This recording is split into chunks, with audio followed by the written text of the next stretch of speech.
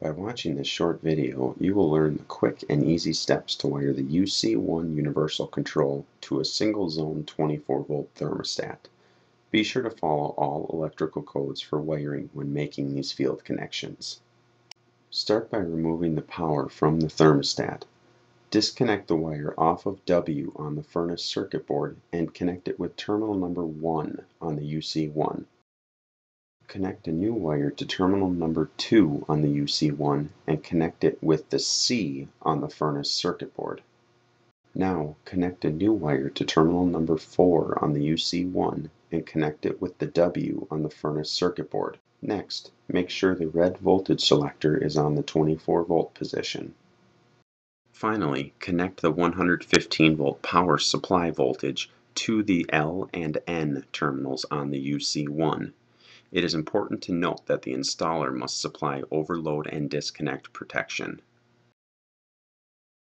If not previously completed, you also need to attach and wire the UC1 whip to the circuit board and to the venter.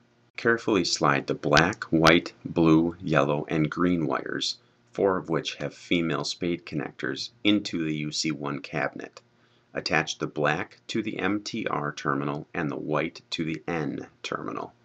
The blue and yellow will connect to P1 and P2 and are not polarity sensitive. The green wire will attach to the box grounding screw. The opposite end of the UC1 whip will connect to the venter. Connect the black and white leads to the venter motor leads. The blue and yellow should attach to the fan prover switch, and the green wire will connect to the venter ground.